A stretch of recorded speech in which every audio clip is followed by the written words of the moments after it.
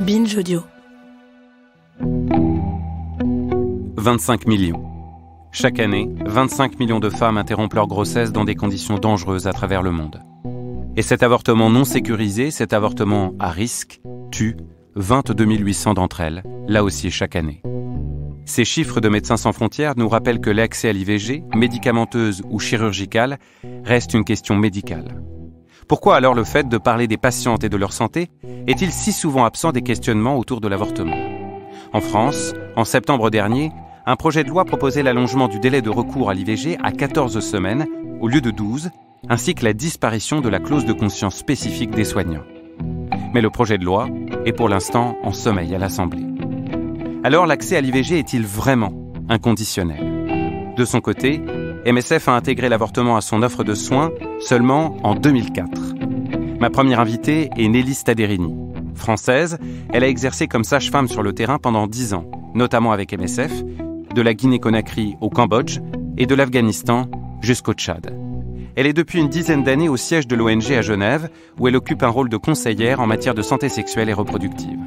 Je lui ai demandé ce qui avait retardé jusqu'en 2004 donc l'intégration de l'avortement chez MSF à l'offre de soins. je pense que l'accès à l'avortement, il s'est toujours fait, mais il était, fait de manière assez clandestine, en fait. Euh, quand on a fait une, étude euh, en, 2016, on, a interviewé euh, les sages-femmes de MSF, on s'est rendu compte qu'elles le faisaient. Mais voilà, en fait, il y avait quelques qui le savaient, et puis, et puis elles ne répondaient pas toujours, et puis elles étaient aussi parfois mal à l'aise, et puis finalement, on n'avait pas tellement institué de protocole officiel. Donc, c'est là-dessus qu'on a travaillé. Je, je, pense que les demandes d'avortement ont toujours été là, et on a toujours essayé de répondre. Par contre, ce qu'on a essayé de faire, c'est beaucoup plus et beaucoup mieux. 7 millions de femmes et jeunes filles hospitalisées chaque année après des complications dues à un avortement à risque, d'après l'Organisation mondiale de la santé, l'OMS. 22 800 femmes et jeunes filles meurent chaque année d'un avortement non sécurisé d'après MSF. C'était donc une question de santé publique que de permettre l'accès à l'IVG en mission humanitaire. Oui, tout à fait. C'est une question de santé publique et je pense que malheureusement, c'est pas comme ça que c'est souvent montré. On a un premier risque et un risque de mortalité et puis malheureusement, c'est ce qu'on voit. Enfin, il y, a, des choses assez connues comme l'utilisation, euh, je sais pas, de bâtons, euh, d'épingles, de cintres. Il y a aussi euh, des, les, femmes prennent du savon, prennent tout ce qui permet de, de, de laver le linge. On, a cette espèce de, de, choses autour de laver, laver son intérieur. Et puis il y a aussi, elles s'empoisonnent euh, s'empoisonnent énormément avec euh, avec des herbes ou avec euh, des médicaments qui ne sont pas faits pour cet usage. Donc malheureusement, on est dans des contextes où bien sûr, c'est très récurrent de voir ces femmes arriver dans nos salles de consultation, mais aussi aux urgences.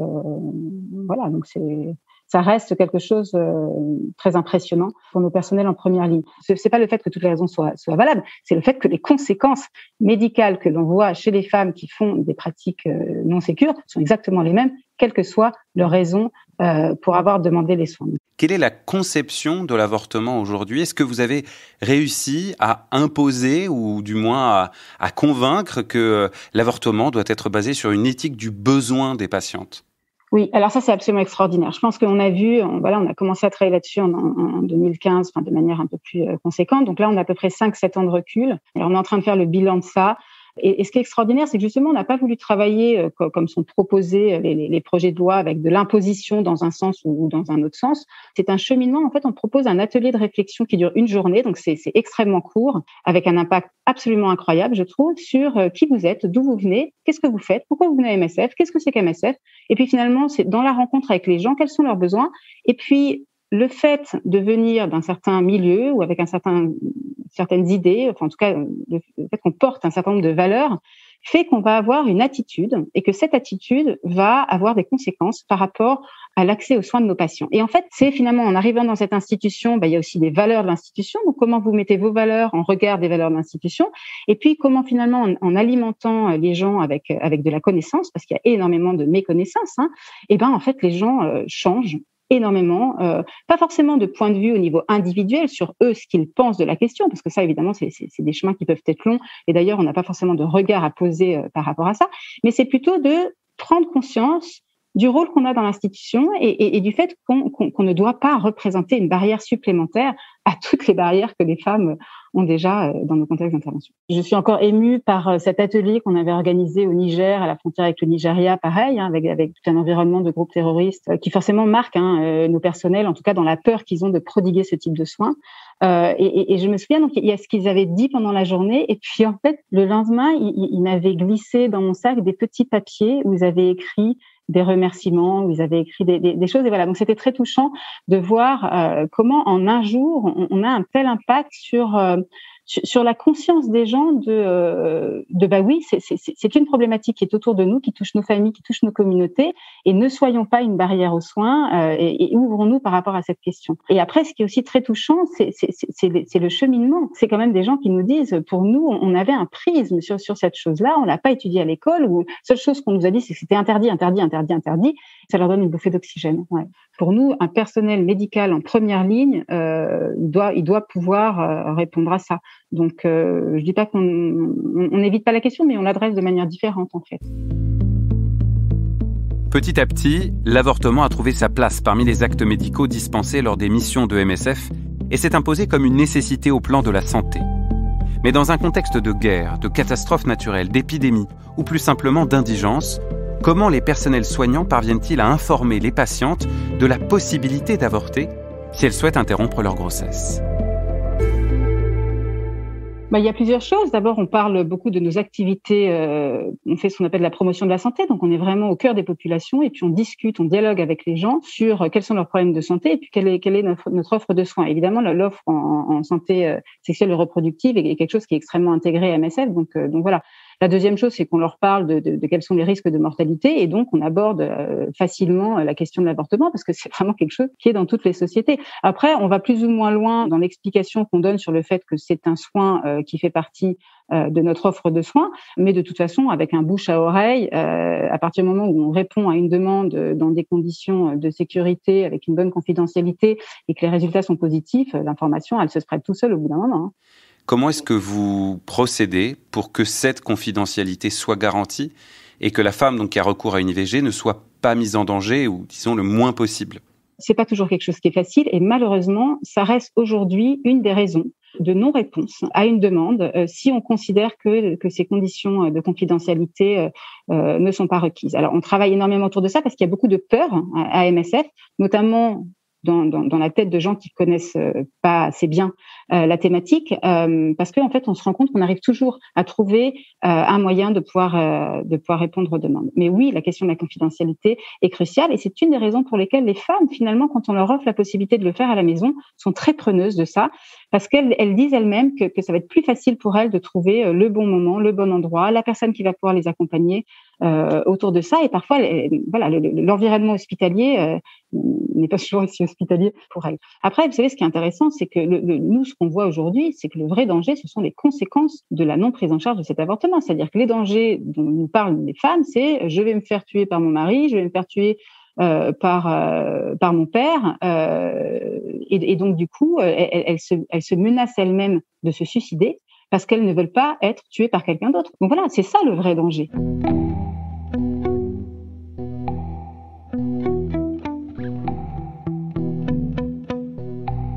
Les personnes qui pourraient s'en prendre aux, femmes, vous avez parlé des, maris, des pères, ce sont les mêmes personnes qui pourraient s'en prendre au personnel soignant ou qui s'en prennent d'ailleurs au personnel soignant euh, oui, bien sûr. Alors en fait, c'est assez intéressant parce que ce qu'on nous dit, euh, c'est un narratif qu'on entend, et finalement, ça se passe assez peu. Donc, je pense que c'est beaucoup, euh, ça, ça, reste de l'ordre, euh, pas forcément du fantasme, enfin, ça dépend comment comment c'est perçu, mais mais ce sont des peurs, euh, ce sont des, des, intimidations, mais finalement, dans la réalité, il y en a moins que ce qu'on nous dit ou que, que ce qu'on peut penser. on avait très peur en fait qu'en en faisant plus, on allait augmenter les risques, et en fait, c'est pas du tout ce qu'on voit. J'ai pas les chiffres sur 2020, mais en 2000, en, en 2015, 16, on n'avait aucune idée. 17, 18, on était peut-être autour de 1000. Euh, 19, 10 000 et 2020, 20 000. Donc, euh, c'est une vraie courbe exponentielle. Pour les femmes souhaitant recourir à l'IVG, on présente l'accompagnement psychologique, du moins en France, comme une nécessité dans ce rapport de soins. Euh, pour vous, en mission humanitaire, la langue peut être une barrière, mais aussi certaines perceptions culturelles, notamment autour du corps. Comment est-ce que vous faites pour épauler ces femmes sur ce plan-là, euh, ces femmes qui veulent euh, une IVG Je pense que la première chose, c'est de déconstruire ce narratif. ce n'est absolument pas indispensable et en tout cas, cela ne correspond absolument pas aux, aux dires, aux demandes et aux besoins des femmes. Je crois que c'est une idée qui rassure les soignants beaucoup plus euh, que, les patients. Nous, ce qu'on voit aujourd'hui, c'est que les femmes qui, en général, viennent dans nos consultations et attendent toute la journée par 40 degrés au soleil, elles savent très bien ce qu'elles veulent. Euh, donc, elles n'ont pas vraiment ni d'ambiguïté ni d'hésitation. En général, elles viennent après un parcours de recherche de soins qui a été long et compliqué et elles sont dans une demande absolument urgente de réponse à ça. Donc, si en face d'elles, on les écoute, on les entend et on répond à leurs demandes, euh, elles ne demandent absolument pas d'appui psychologique. Par contre, ce que l'on voit de plus en plus, c'est une demande d'appui psychologique de notre personnel et de notre personnel médical pour qui euh, il y a un certain nombre de cas où ils ont répondu parce que c'était une demande et pour qui l'impact chez eux est quand même quelque chose que nous, on doit considérer et prendre en charge. Pour Nelly Staderini, le cas de conscience, la perception de l'avortement comme un acte à part dans le soin, serait davantage le fait des soignants que des patientes en mission humanitaire. En France, la clause de conscience spécifique par rapport à l'avortement était remise en question dans un projet de loi porté par la députée Europe Écologie Les Verts, Alban Gaillot, à l'automne dernier. Votée en première lecture en octobre, la loi a ensuite été rejetée par le Sénat en janvier avant d'être bloqué en seconde lecture à l'Assemblée par une série de 423 amendements déposés par le groupe Les Républicains en février. Ma seconde invitée est Jennifer Merchant, professeure des universités à Paris de Assas, politologue et membre du comité d'éthique de l'Institut national de la santé et de la recherche médicale, l'INSERM.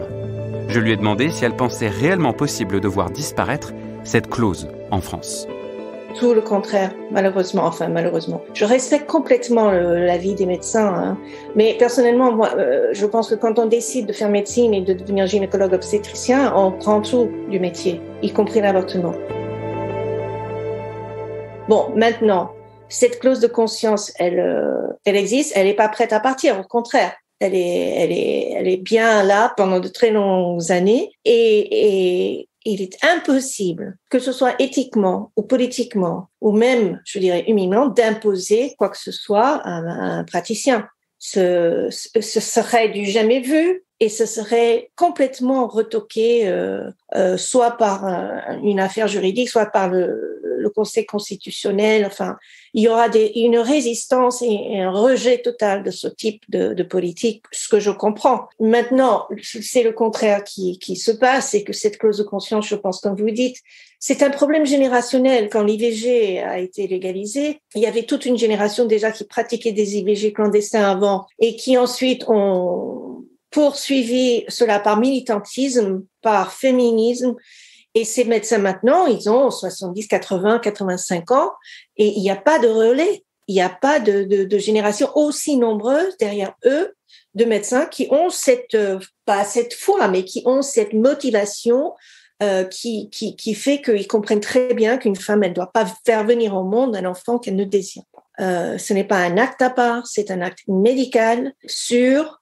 légal et qui si vous parlez à un grand nombre de, gynécologues et obstétriciens qui pratiquent l'avortement, vous disent que c'est quelque chose d'absolument, euh, entre guillemets, facile à réaliser et qui comporte tous les sauvegardes euh, qu'il faut. Euh, on ne meurt plus d'avortement aujourd'hui comme le faisait avant sa légalisation.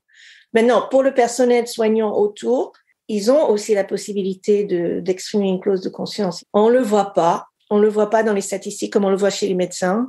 Euh, parce que je pense que ce personnel, le personnel euh, soignant, est tout à fait en, en, harmonie avec son métier et ne pose pas des jugements sur tel acte ou sur tel, tel autre acte. Tandis que les médecins, parce qu'ils sont les chefs, entre guillemets, les, personnes le plus impliquées dans euh, l'acte lui-même, euh, bah, ils, trouvent, pour certains, pour de nombreux, qu'ils ont besoin d'exprimer de, de, un jugement éthique et moral sur, sur l'acte.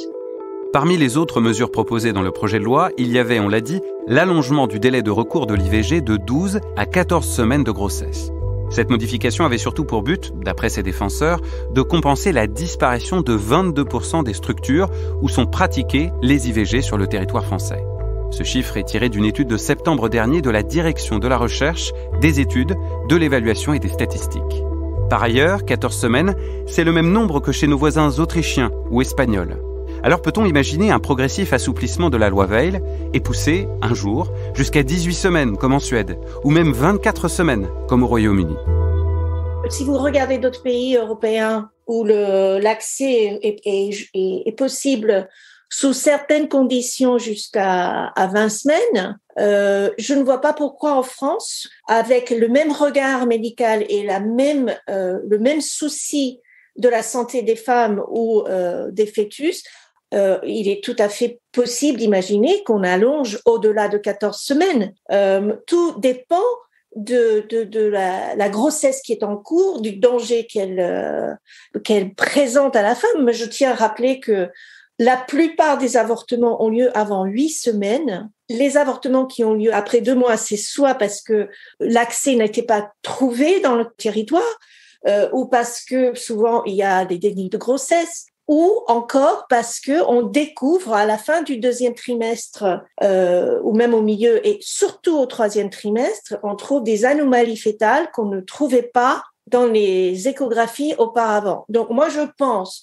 qu'il est tout à fait normal d'allonger les délais pour ces cas-là pour permettre à une femme ou à un couple de mettre fin à cette grossesse lorsqu'il y a des complications très graves ou pour la mère ou pour l'enfant à venir. Donc, je ne suis pas favorable à l'idée que nous sommes en train de franchir des lignes rouges. On voit très bien que ça marche très bien dans l'extension dans d'autres pays comme le Pays-Bas ou, l'Espagne euh, n'a pas tout d'un coup vu euh, se multiplier des avortements tardifs. Bien au contraire, le taux est stable et la plupart des avortements se font avant huit semaines. Donc moi, je ne suis pas du tout euh, sur un discours de pente glissante. Non, 14 semaines déjà, c'est pas mal pour enrayer euh, le fait que de 3 à 5 000 femmes par an en France doivent aller à l'étranger parce qu'elles ont dépassé les 12 semaines.